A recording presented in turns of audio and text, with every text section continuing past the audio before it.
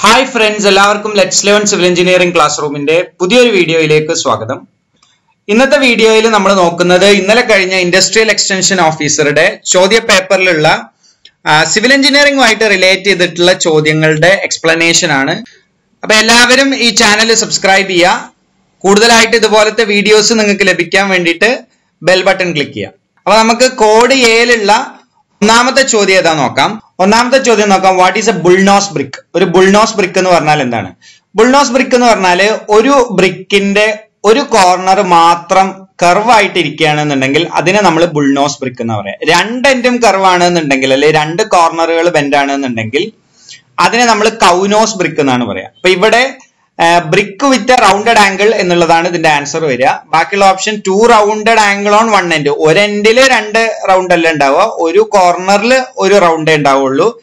രണ്ട് എൻഡുകളിലും രണ്ട് കർവ് ഉണ്ടാവും. അങ്ങനത്തതിനെയാണ് നമ്മൾ എന്ത് പറയാ? കൗനോസ് എന്ന് പറയാ. ഒരു എൻഡിൽ ഒരു കോർണറിൽ മാത്രമാണ് റൗണ്ട് ഉള്ളത് എന്നുണ്ടെങ്കിൽ അതിനെ ബുൾനോസ് എന്ന് പറയും. ഇതിന് ആപ്റ്റ് ആയിട്ടുള്ള ആൻസർ എന്ന് പറയുന്നത് ബ്രിക്ക് വിത്ത് റൗണ്ടഡ് ആംഗിൾ എന്നുള്ളതാണ്.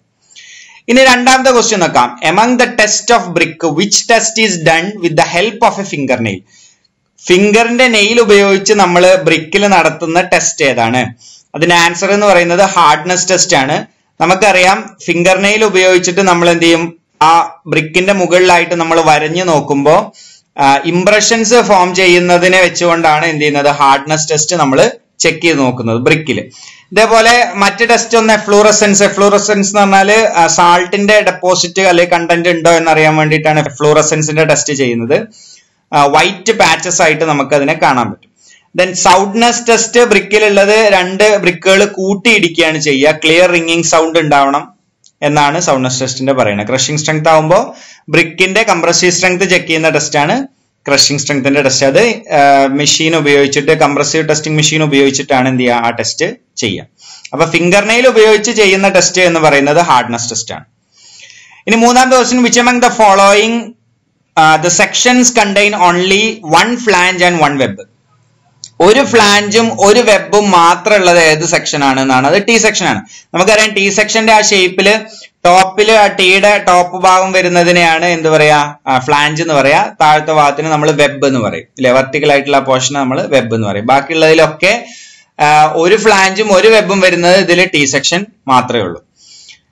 ഇനി നാലാമത്തെ ക്വസ്റ്റ്യൻ നോക്കുക which of the following is taken as a fine aggregate ഈ ക്വസ്റ്റ്യൻ നമ്മൾ മുമ്പ് ഒരുപാട് തവണ പറഞ്ഞിട്ടുണ്ട്. നമുക്കറിയാം ഫൈൻ അഗ്രിഗേറ്റ് എന്ന് പറഞ്ഞു കഴിഞ്ഞാൽ അത് particle size four point seven five M M I S സിയിലൂടെ pass ചെയ്തു പോകുന്നതിനെയാണ് നമ്മൾ ഫൈൻ അഗ്രിഗേറ്റ് എന്ന് പറയാം. അതിൽ റീറ്റെയിൻ ചെയ്ത് നിൽക്കുന്നതിനെ നമ്മൾ കോഴ്സ് അഗ്രിഗേറ്റ് എന്ന് പറയും. അപ്പൊ ഏതാണ് ഫൈൻ അഗ്രിഗേറ്റ് എന്ന് ചോദിച്ചു കഴിഞ്ഞാൽ അതിന്റെ answer particles passing through four point seven five M M I S C എന്നുള്ളതാണ്. ഇനി അഞ്ചാമത്തെ ക്വസ്റ്റ്യൻ നോക്കാം. Which mix is M twenty concrete mix M twenty എന്ന് പറഞ്ഞ കോൺക്രീറ്റിന്റെ മിക്സ് റേഷ്യോ ഏതാണ്? നമുക്കറിയാം one is to one and half is to three ആണ് M twenty concrete one is to two is to four one is to two is to four എന്ന് പറഞ്ഞാൽ അവിടെ സിമെന്റിന്റെ കണ്ടന്റ് എന്ത് ചെയ്തു കുറഞ്ഞു one is to two is to four എന്ന് പറഞ്ഞാൽ എം ഫിഫ്റ്റീൻ കോൺക്രീറ്റ് ആണ് okay one is to one is to two എന്ന് പറഞ്ഞു കഴിഞ്ഞാൽ എന്ത് ചെയ്തു അവിടെ സിമെന്റിന്റെ കണ്ടന്റ് കൂടി അതായത് എം ട്വന്റി കോൺക്രീറ്റിനേക്കാൾ സ്ട്രെങ്ത് ഉള്ള കോൺക്രീറ്റ് ആണ് one is to one is to two അത് എം ട്വന്റി ഫൈവ് ആണ് വൺ ഫോർ എയ്റ്റ് എന്ന് പറയുന്നത് എം സെവൻ പോയിന്റ് ഫൈവ് ആണ് എം സെവൻ പോയിന്റ് ഫൈവ് മിക്സിനെയാണ് വൺ ഫോർ എയ്റ്റ് മിക്സ് എന്ന് നമ്മൾ പറയും. ആറാമത്തെ ക്വസ്റ്റ്യൻ നോക്കാം. Which pile is design to take up the stresses during both driving and handling ഇവിടെ ചോദിച്ചിട്ടുള്ള ചോദ്യം ഏത് പൈലിനാണ് ഹാൻഡ്ലിങ്ങിനും അതേപോലെ തന്നെ ഡ്രൈവ് ചെയ്യുന്ന സമയത്തും ഒരേപോലെ സ്ട്രെസ്സിനെ എടുക്കാൻ പറ്റുന്നത് എന്നാണ് ചോദ്യം. അത്ര ക്ലാരിറ്റി ഇല്ലാത്തൊരു ക്വസ്റ്റ്യൻ ആണ്. ഇതിന്റെ ആൻസർ എന്ന് പറയുന്നത് കാസ്റ്റിൻ സിറ്റു പൈലാണ് സൈറ്റിൽ സൈറ്റിൽ വെച്ചുകൊണ്ട് നമ്മൾ ഉണ്ടാക്കുന്ന പൈലുകൾക്കാണ് പിന്നെ ഡ്രൈവിങ്ങും ഹാൻഡ്ലിംഗ് പവറും ഉണ്ടാവുക എന്നാണ് ആൻസർ കീയിൽ വന്നിട്ടുള്ളത്. ശരിക്കും ഇതൊരു അത്ര ക്ലാരിറ്റി ഇല്ല. ശരിക്കും കുറച്ചും കൂടെ സ്പെസിഫിക് ആയിട്ട് വേണം ഇതിന്റെ ക്വസ്റ്റ്യൻ ചോദിക്കാൻ വേണ്ടിയിട്ട്. ഇനി ഏഴാമത്തെ ക്വസ്റ്റ്യൻ ഒക്കെ which of the following is the feature of English bond English ബോണ്ടിന്റെ feature ഏതാണ് എന്നുള്ളതാണ്. ഇപ്പൊ ഇതിൽ ഓപ്ഷൻസ് നമ്മൾ വായിച്ചു നോക്കിയാൽ നമുക്ക് മനസ്സിലാവും. ഓപ്ഷൻ എ ആണ്. Header course starts with header followed by a queen closer അതായത് നമുക്കറിയാം ഇംഗ്ലീഷ് ബോണ്ട് എന്ന് പറഞ്ഞാൽ അൾട്ടർനേറ്റീവ് ആയിട്ടുള്ള കോഴ്സുകളിൽ ആദ്യം ഹെഡറും പിന്നെ സ്ട്രക്ചറും അങ്ങനെയാണ് എന്ത് ചെയ്യുക? ഈ ഇംഗ്ലീഷ് ബോണ്ട് ഫോം ചെയ്യുക. ഫസ്റ്റ് ലെയർ സ്ട്രക്ചർ ആയിരിക്കും. രണ്ടാമത്തെ ലെയർ ഇംഗ്ലീഷ് സോറി രണ്ടാമത്തെ ലെയർ ഹെഡർ ബോണ്ട് ആയിരിക്കും. അപ്പോൾ രണ്ടാമത്തെ ലെയർ ഹെഡർ ബോണ്ട് വെക്കുന്ന സമയത്ത് ആദ്യം ഒരു ഹെഡർ വെച്ച് കഴിഞ്ഞാൽ പിന്നെ അവിടെ എന്ത് ചെയ്യണം? ഒരു ക്യൂൻ ക്ലോസർ വെച്ചിട്ട് മാത്രം അടുത്ത ഹെഡർ വെക്കാൻ പാടുള്ളൂ. ഇല്ലാന്നുണ്ടെങ്കിൽ അവിടെ എന്ത് ചെയ്യും? ജോയിന്റുകൾ ഫോം ചെയ്യും. അതുകൊണ്ട് അത് ഒഴിവാക്കാൻ വേണ്ടിയിട്ട് എന്ത് ചെയ്യും? ഒരു ഹെഡറിന് ശേഷം നമ്മൾ ഒരു ക്യൂൻ ക്ലോസർ വെക്കും. ബ്രിക് ബാറ്റ് വെക്കുക എന്ന് പറയുന്നത് തെറ്റാണ്. കാരണം ബ്രിക്ക് ബാറ്റിനാവുമ്പോൾ തിക്നെസ് ടെൻ സെന്റിമീറ്റർ കിട്ടുമെങ്കിലും ബാറ്റുകളല്ല എന്ത് ചെയ്യുക? പിന്നെ ഹെഡറുകൾ വെക്കുമ്പോൾ ഉപയോഗിക്കുന്നത് എപ്പോഴും ക്യൂൻ ക്ലോസർ ആണ്. അപ്പൊ അതുകൊണ്ട് തന്നെ ഹെഡർ കോഴ്സ് സ്റ്റാർട്ട് ചെയ്ത് കഴിഞ്ഞാൽ ഫസ്റ്റ് ഹെഡർ വെച്ചതിന് ശേഷം പിന്നെ ഒരു ക്യൂൻ ക്ലോസർ വെച്ചതിന് ശേഷമാണ് പിന്നെ ഹെഡർ ഹെഡർ കണ്ടിന്യൂ ചെയ്ത് പോകുന്നത് ഇംഗ്ലീഷ് ബോണ്ടിൽ അപ്പൊ ഇതിന്റെ ആൻസർ എന്ന് പറയുന്നത് എപ്പോഴും ഹെഡർ കോഴ്സ് സ്റ്റാർട്ട് ചെയ്യുന്നത് ഒരു ഹെഡർ കഴിഞ്ഞതിന് ശേഷം ഒരു ക്യൂൻ ക്ലോസർ വെച്ചുകൊണ്ടായിരിക്കും. അപ്പൊ ഓപ്ഷൻ എ ആണ് ഇതിന്റെ ആൻസർ ഇനി എട്ടാം ദിവസം നോക്കാം. What type of stone mason is constructed using square or rectangular block square ആയിട്ടോ അല്ലെങ്കിൽ റെക്ടാങ്കുലർ ബ്ലോക്കുകളായിട്ടോ സ്റ്റോൺ മേസൺറി ഉണ്ടാക്കുന്നതിനെ നമ്മൾ പറയുന്ന പേര് അഷ്ലാർ മേസൺറി എന്നാണ്. ബാക്കിയുള്ളതിനെ നമ്മൾ റാൻഡം റബിളിനോ ഡ്രൈ റബിളിനോ ഒക്കെയാണ് സാധാരണ നമ്മൾ ഉപയോഗിക്കുന്ന സ്റ്റോൺ മെയ്സൺറിക്ക് നമ്മൾ പറയാം. പക്ഷെ അഷ്ലാർ മെയ്സൺറിയുടെ പ്രത്യേകത എന്താണെന്ന് വെച്ച് കഴിഞ്ഞാൽ കല്ലുകളെ വളരെ കൃത്യമായി കൊണ്ട് ചിസൽ ചെയ്ത് പ്രോപ്പർ ഷേപ്പിലേക്ക് അതിനെ മാറ്റിയിട്ടാണ് എന്ത് ചെയ്യുക? മെയ്സൺറി ചെയ്യുക. അപ്പൊ അഷ്ലാർ എപ്പോഴും സ്ക്വയറോ അല്ലെങ്കിൽ റെക്ടാങ്കുലർ ഷേപ്പിലോ ഒക്കെ ആയിട്ടാണ് ചെയ്യുക. അതിൽ തന്നെ പല ടൈപ്പുകളുണ്ട്. ചെയിംഫേർഡ് റോക്ക് ഫേസ്ഡ് എന്നൊക്കെ പറഞ്ഞിട്ട് പലതുണ്ട്. എന്തായാലും അഷ്ലാർ എപ്പോഴും ഒരു പ്രോപ്പർ ആയിട്ടുള്ള ഷേപ്പ് ഉണ്ടാവും. കല്ലുകൾക്ക് തന്നെ പ്രോപ്പർ ആയിട്ടുള്ള ഷേപ്പ് ഉണ്ടാവും. അതിനെയാണ് നമ്മൾ അഷ്ലാർ മേസൺറി എന്ന് പറയും. ഇനി ഒമ്പതാം ദിവസം നോക്കാം which of the following instrument is used in chain survey chain സർവേയിൽ ഉപയോഗിക്കുന്ന ഇൻസ്ട്രുമെന്റ് ഏതാണ്? വായിച്ചു നോക്കിയാൽ എല്ലാവർക്കും കിട്ടുന്ന ആൻസർ ആണ്. ഇതിന്റെ ആൻസർ ക്രോസ് സ്റ്റാഫ് ആണ്. അല്ലെ? ക്രോസ് സ്റ്റാഫ് പെർപെൻഡിക്കുലർ ഒക്കെ സെറ്റ് ചെയ്യാൻ വേണ്ടിയിട്ടൊക്കെ നമ്മൾ എന്ത് ചെയ്യാറുണ്ട്? ചെയിൻ സർവേയിൽ ഉപയോഗിക്കാറുണ്ട്. പിന്നെ dumpy level total station theodolite എന്നൊക്കെ പറയുന്ന സെപ്പറേറ്റ് ഇൻസ്ട്രുമെന്റ് ആണ് അല്ലെങ്കിൽ സെപ്പറേറ്റ് സർവേയിങ് ആണ്. ഇനി പത്താം ദിവസം എന്നൊക്കെ which of the following is usually not considered as a survey station survey station ആയിട്ട് കൺസിഡർ ചെയ്യാത്തത് ഏതാണ് എന്നുള്ളതാണ്. First option end point of a survey line survey ലൈനിന്റെ എൻഡ് പോയിന്റ് നമ്മൾ സർവേ സ്റ്റേഷൻ ആയിട്ട് തന്നെയാണ് എടുക്കുക. അതിന്റെ സർവേ സ്റ്റേഷന്റെ ഡെഫിനിഷൻ പോലും അത് തന്നെയാണ്. പിന്നെ ഉള്ളത് ടെമ്പററി ബെഞ്ച് മാർക്ക് ബെഞ്ച് മാർക്കിനെ നമ്മൾ പിന്നെ സർവേ സ്റ്റേഷൻ ആയിട്ടാണ് കൺസിഡർ ചെയ്യേണ്ടത്. കാരണം എന്താണെന്ന് വെച്ചാൽ നമ്മൾ ഡംബി ലെവൽ അല്ലെങ്കിൽ ലെവലിംഗ് എന്ന് പറഞ്ഞ പ്രോസസ്സ് ചെയ്യുമ്പോൾ ഇൻസ്ട്രുമെന്റ് വെക്കുന്ന സ്റ്റേഷന് പ്രാധാന്യമില്ല. അതായത് point at which the dumpy level ഈ സെറ്റപ്പ് എന്നുള്ളത് ഒരിക്കലും സർവേ സ്റ്റേഷൻ അല്ല. മറിച്ച് എവിടെയാണോ ലെവലിംഗ് സ്റ്റാഫ് കൊണ്ടുപോയി വെക്കുന്നത് ആ ലെവലിംഗ് സ്റ്റാഫ് വെക്കുന്ന പോയിന്റുകളാണ് സർവേ സ്റ്റേഷൻ ഓക്കെ അത് ഡംബി ലെവലിന്റെ പ്രത്യേകതയാണ്. കാരണം ഡംബി ലെവൽ ഇൻസ്ട്രുമെന്റ് വെക്കുന്നതിന് പ്രാധാന്യമില്ല. പക്ഷേ എവിടെയാണോ സ്റ്റാഫ് പിടിക്കുന്നത് അതിനാണ് പ്രാധാന്യം കൂടുതൽ.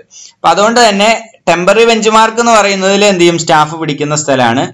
അതേപോലെ തന്നെ ലെവലിംഗ് സ്റ്റാഫ് വെക്കുന്നത് മറ്റുള്ള പോയിന്റുകളിലൊക്കെ എന്താണ്?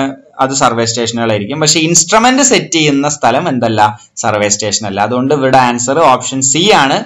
Point at which the dumpy level ഈ സെറ്റപ്പ് ഇനി പതിനൊന്നാമത്തെ question what is the area of a land plot of length one forty metre and width hundred metre നൂറ്റി നാൽപ്പത് മീറ്റർ നീളവും നൂറ് മീറ്റർ വീതിയുമുള്ള ഒരു പ്ലോട്ട് ഏരിയ എത്ര ഏരിയ ഉണ്ടാവും എന്നുള്ളതാണ് ഇവിടുത്തെ ചോദ്യം. അപ്പൊ നമ്മൾ എന്ത് ചെയ്താൽ മതി? ലെങ്ത് റെക്ടാങ്കുലർ ആയതുകൊണ്ട് തന്നെ അല്ലെങ്കിൽ നീളവും വീതിയും മാത്രം തന്നുകൊണ്ട് നമ്മൾ എന്ത് ചെയ്താൽ മതി? അതിനെ മൾട്ടിപ്ലൈ ചെയ്യുക. അപ്പൊ നൂറ്റി നാൽപ്പത് ഇന്റു നൂറ് എന്ന് പറഞ്ഞാൽ നൂറ്റി നാൽപ്പത് കഴിഞ്ഞിട്ട് രണ്ട് പൂജ്യം വരും. അല്ലെ? അതായത് പതിനാലായിരം എം സ്ക്വയർ എന്ന് നമുക്ക് കിട്ടും. പതിനാലായിരം എം സ്ക്വയർ എന്ന് പറഞ്ഞു കഴിഞ്ഞാൽ നമുക്കറിയാം പതിനായിരം എം സ്ക്വയറിന് നമ്മൾ ഒരു ഹെക്ടർ എന്നാണ് പറയാം. അപ്പൊ പതിനാലായിരം എം സ്ക്വയറിന് വൺ പോയിന്റ് ഫോർ ഹെക്ടേഴ്സ് എന്ന് പറയും. അപ്പൊ ഇതിന്റെ ആൻസർ ഓപ്ഷൻ ഡി ആണ്. ഇനി പന്ത്രണ്ടാമത്തെ ക്വസ്റ്റ്യൻ നോക്കാം. Which among the following is a satellite based navigation system that can be use to locate position ഒരു സാറ്റലൈറ്റ് ഉപയോഗിച്ചുകൊണ്ട് ഒരു പോയിന്റിന്റെ ലൊക്കേഷൻ കണ്ടുപിടിക്കാൻ ഉപയോഗിക്കുന്ന ഒരു ടൈപ്പ് ഓഫ് സർവേയിങ് ഏതാണ് എന്നുള്ളതാണ് ഇവിടുത്തെ ചോദ്യം. ഇതിന്റെ ആൻസർ ജി പി എസ് ആണ്. ജി പി എസ് എന്ന് പറഞ്ഞാൽ ഗ്ലോബൽ പൊസിഷനിങ് സിസ്റ്റം ഇരുപത്തിനാല് സാറ്റലൈറ്റുകൾ ഉപയോഗിച്ചുകൊണ്ട് ഭൂമിയുടെ പുറത്തുള്ള ഏത് പോയിന്റുകളെയും പ്രോപ്പറായിട്ട് ലൊക്കേറ്റ് ചെയ്യാൻ വേണ്ടി ഉപയോഗിക്കുന്ന ഒരു സംവിധാനമാണ് ജി പി എസ് എന്നുള്ളത്. ജി ഐ എസ് എന്ന് പറഞ്ഞു കഴിഞ്ഞാൽ ജിയോഗ്രഫിക്കൽ ഇൻഫർമേഷൻ സിസ്റ്റം ആണ്. അത് നമ്മൾ ജി പി എസ് ഉപയോഗിച്ചിട്ടോ അല്ലെങ്കിൽ മറ്റ് പല മാർഗങ്ങൾ ഉപയോഗിച്ചുകൊണ്ടും കളക്ട് ചെയ്യുന്ന ഡാറ്റനെ പ്രോസസ് ചെയ്യുന്ന ഒരു പിന്നെ ടൈപ്പ് ഓഫ്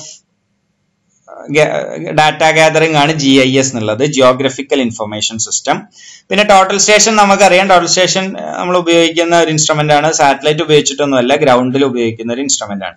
പിന്നെ ഉള്ളത് ഡിസ്റ്റോമാറ്റ് ഡിസ്റ്റോമാറ്റ് എന്ന് പറഞ്ഞാൽ ഡിസ്റ്റൻസ് മെഷർ ചെയ്യാൻ വേണ്ടി ഉപയോഗിക്കുന്ന ഇൻസ്ട്രുമെന്റ് ആണ്. ടോട്ടൽ സ്റ്റേഷനിലൊക്കെ നമ്മൾ ഇന്റഗ്രൽ പാർട്ടായിട്ട് ഡിസ്റ്റോമാറ്റുകൾ ഉപയോഗിക്കാറുണ്ട്. അല്ലെങ്കിൽ സെപ്പറേറ്റ് ഡിസ്റ്റോമാറ്റുകൾ ഉണ്ട് അപ്പൊ ഇവിടെ സാറ്റലൈറ്റ് ഉപയോഗിച്ചുകൊണ്ട് പോയിന്റിനെ ലൊക്കേറ്റ് ചെയ്യുന്നത് ജി പി എസ് മാത്രമാണ് ഇനി പതിമൂന്നാമത്തെ ക്വസ്റ്റ്യൻ നോക്കാം. Among the following which is a parameter that cannot be measured using a total station total station measure ചെയ്യാൻ കഴിയാത്ത പാരാമീറ്റർ ഏതാണ് എന്നുള്ളതാണ് ചോദ്യം.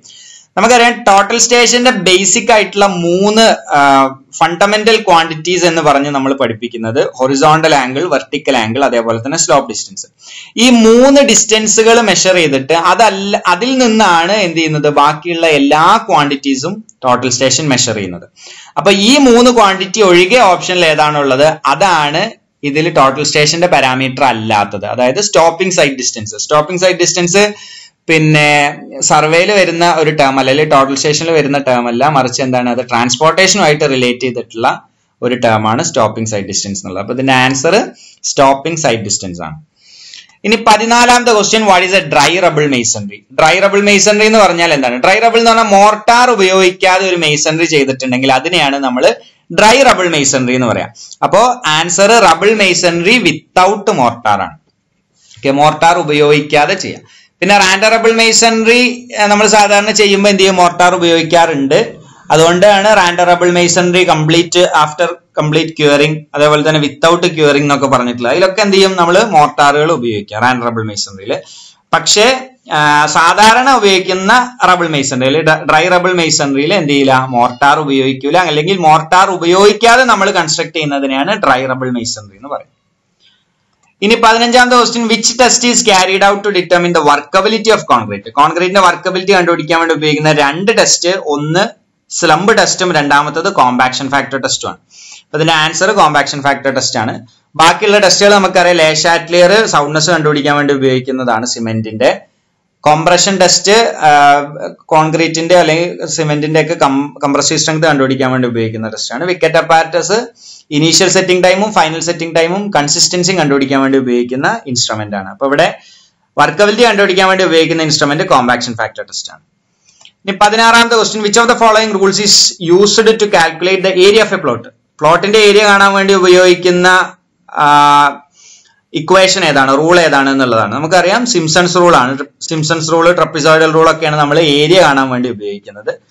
പിന്നെ Bowditch's rule compass rule transit rule ഒക്കെ എന്തിനു വേണ്ടിയിട്ടുള്ളതാണ്? അത് ട്രാവേഴ്സിനെ ബാലൻസ് ചെയ്യാൻ വേണ്ടി ഉപയോഗിക്കുന്ന റൂളുകളാണ് പതിനേഴാമത്തെ ക്വസ്റ്റ്യൻ നോക്കുക among the following type of aggregate which is preferred for concrete കോൺക്രീറ്റിന് താഴെ കൊടുത്തിട്ടുള്ള അഗ്രിഗേറ്റുകളിൽ ഏതാണ് ഏറ്റവും നല്ലത് എന്നുള്ളതാണ്.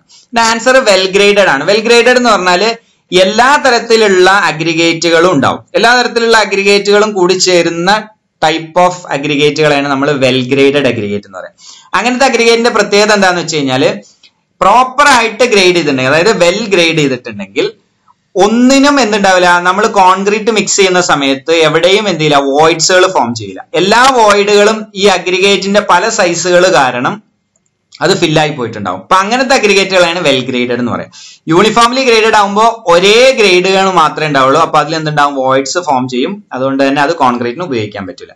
പിന്നെ ഗ്യാപ് ഗ്രേഡഡ് എന്ന് പറഞ്ഞാൽ ഒരു ഗ്രേഡ് കഴിഞ്ഞിട്ട് പിന്നെ തൊട്ടടുത്ത ഗ്രേഡോ അല്ലെങ്കിൽ അതിന്റെ അപ്പുറത്തെ ഗ്രേഡോ ഉണ്ടാവില്ല. പിന്നെ കുറച്ചുകൂടെ അപ്പുറത്തെ ഗ്രേഡാണ് ഉണ്ടാവുക. അപ്പൊ സൈസ് കുറച്ച് വലിയ ഗ്രേഡുകളാണ് ഉണ്ടാവുക. വളരെ ബേസിക് ആയിട്ടുള്ള കാര്യമാണ്. ഫ്ലേക്കി ആയിട്ടുള്ളതോ അല്ലെങ്കിൽ വളരെ ഇലോങ്ങേറ്റഡ് ആയിട്ടുള്ളതോ ആയിട്ടുള്ള അഗ്രിഗേറ്റുകൾ എന്ത് ചെയ്യാൻ പാടില്ല? കോൺക്രീറ്റ് ഉണ്ടാക്കാൻ വേണ്ടിയിട്ട് ഉപയോഗിക്കാൻ പാടില്ല. പതിനെട്ടാമത്തെ question in triangulation what should be the included angle for a well conditioned triangle well conditioned triangle എന്ന് പറഞ്ഞാൽ angle greater than thirty and less than one twenty ആണ്. അല്ലെങ്കിൽ നമുക്ക് മറ്റൊരു രൂപത്തിൽ പറയാം മുപ്പത് ഡിഗ്രിയുടെയും നൂറ്റി ഇരുപത് ഡിഗ്രിയുടെയും ഇടയ്ക്കുള്ള ഇൻക്ലൂഡഡ് ആംഗിൾസ് വരുന്ന ട്രാങ്കിളുകളെയാണ് നമ്മൾ വെൽ കണ്ടീഷൻഡ് ട്രാങ്കിൾ എന്ന് പറയാം. Okay which of the following statement is incorrect താഴെ കൊടുത്തിട്ടുള്ളതിൽ ഏതാണ് ഇൻകറക്റ്റ് ആയിട്ടുള്ളത്? ഗ്രില്ലേജ് ഫൗണ്ടേഷനെ കുറിച്ചാണ് ചോദ്യം. ഗ്രില്ലേജ് ഫൗണ്ടേഷൻ എന്ന് പറഞ്ഞു കഴിഞ്ഞാൽ സ്റ്റീൽ ജോയിസ്റ്റുകൾ അല്ലെങ്കിൽ സ്റ്റീലിന്റെ ബീമുകൾ നമ്മൾ ലെയർ ലെയർ ആയിട്ട് ഫോം ചെയ്ത് ഉണ്ടാക്കുന്ന ഒരു ഫൗണ്ടേഷൻ ആണ് ഗ്രില്ലേജ് ഫൗണ്ടേഷൻ അപ്പൊ ഗ്രില്ലേജ് ഫൗണ്ടേഷൻ എന്താണ്? ഒരു ഷാലോ ഫൗണ്ടേഷൻ ആണ്. അധികം ഡെപ്ത് ഇല്ലാത്ത ഒരു ഫൗണ്ടേഷൻ ആണ്. എന്നാൽ വലിയ ലോഡുകളെ ബെയർ ചെയ്യാൻ പറ്റുന്ന ഒരു ടൈപ്പ് ഫൗണ്ടേഷൻ ആണ് ഗ്രില്ലേജ് ഫൗണ്ടേഷൻ ഇപ്പൊ ഇവിടെ ഇൻകറക്റ്റ് സ്റ്റേറ്റ്മെന്റ് എന്ന് പറയുന്നത് grillage foundation is a deep foundation എന്നുള്ളത് എന്താണ്? ഇൻകറക്റ്റ് ആയിട്ടുള്ള സ്റ്റേറ്റ്മെന്റ് ആണ്. ശരിക്കും ഗ്രില്ലേജ് ഫൗണ്ടേഷൻ ഒരു ഷാലോ ഫൗണ്ടേഷൻ ആണ്. ഇനി ഇരുപതാമത്തെ ക്വസ്റ്റ്യൻ നോക്കാം. Which is a plain bar section ഒരു പ്ലെയിൻ ബാർ എന്ന് പറഞ്ഞാൽ ഏതാണ്? പ്ലെയിൻ ബാർ ഏറ്റവും ചെറിയ ഗ്രേഡ് ആയിട്ടുള്ള സ്റ്റീലാണ് അതായത് F E two fifty grade സ്റ്റീലിനെയാണ് നമ്മൾ പ്ലെയിൻ ബാർ എന്ന് പറയുന്നത്. ഓക്കെ അപ്പൊ ഇത്രയും കാര്യങ്ങൾ നിങ്ങൾക്ക് മനസ്സിലായി എന്ന് വിചാരിക്കുന്നു. Thank you for watching the video